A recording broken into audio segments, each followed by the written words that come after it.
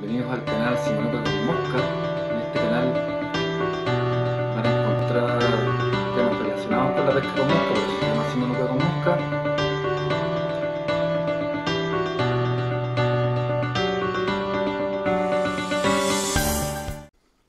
Hola, ¿qué tal? Bienvenidos a un nuevo capítulo del canal Simonuca con Mosca.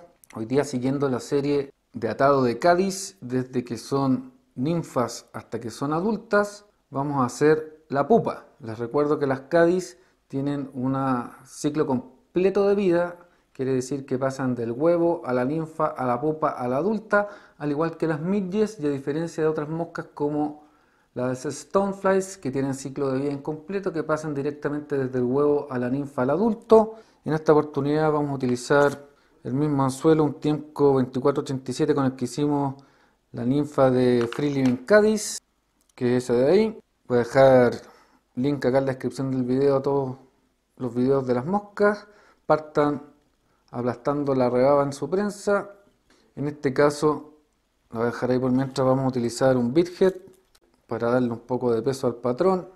Ok, voy a utilizar thread negro o hilo negro UTC 70.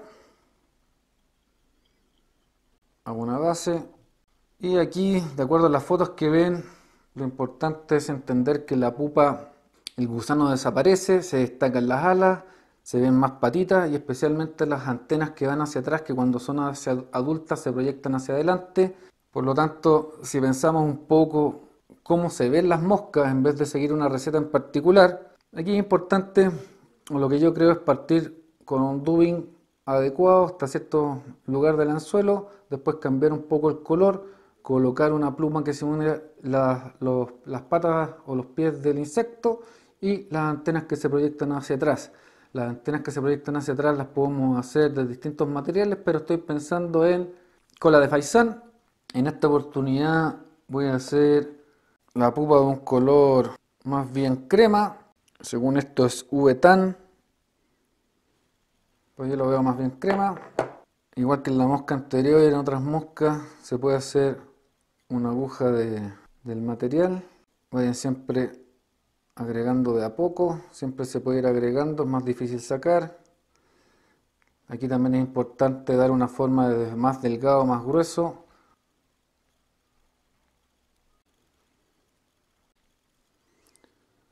Además deben recordar o verificar contra la foto que la pupa es bastante gruesa en su cuerpo si notan que les va quedando mal, pueden devolverse para manejar mejor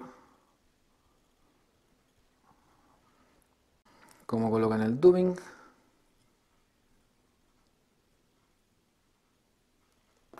Aquí adelante podemos destacar un poco con un color más oscuro la cabeza. Al final les recuerdo que no hay nada escrito a fuego, y siempre entretenido estar en el río y lograr capturar un pez con una mosca creada por nosotros. Así que voy a poner más adelante algo más brillante.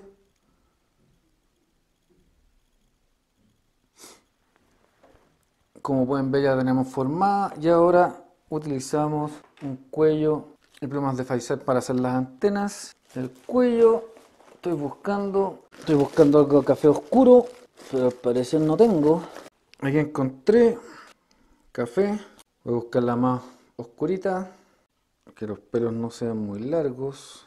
Por ahí, más o menos del largo del anzuelo. Cortamos la punta generando un pequeño triángulo.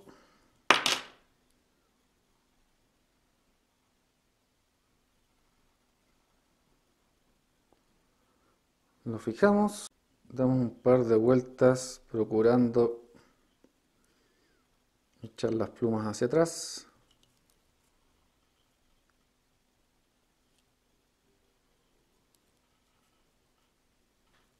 Y finalmente fijamos con el hilo, cortamos lo que sobra damos unas vueltas y preparamos dos plumas de cola de faisán para simular las antenas. Procuramos que la curva sea hacia atrás y hacia abajo. En ambos casos la pueden colocar juntas, atar juntas al anzuelo separadas. Algunas antenas son bastante largas, pero hasta dos veces el cuerpo las pueden hacer más cortas si quieren y hacen el ajuste necesario antes de hacer el whip finish.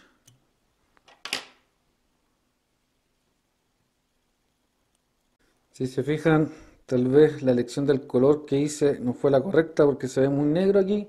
Sin embargo no creo que afecte mucho. Pero si quieren ser más puristas y van a hacer una mosca crema utilicen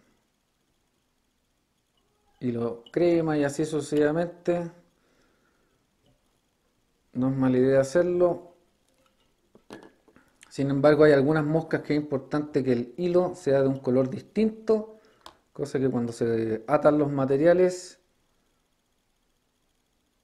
resalta. En este caso no es así, por lo tanto podrían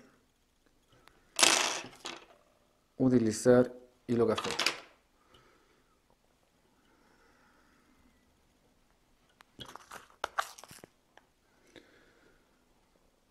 Pueden ver, esa es nuestra pupa.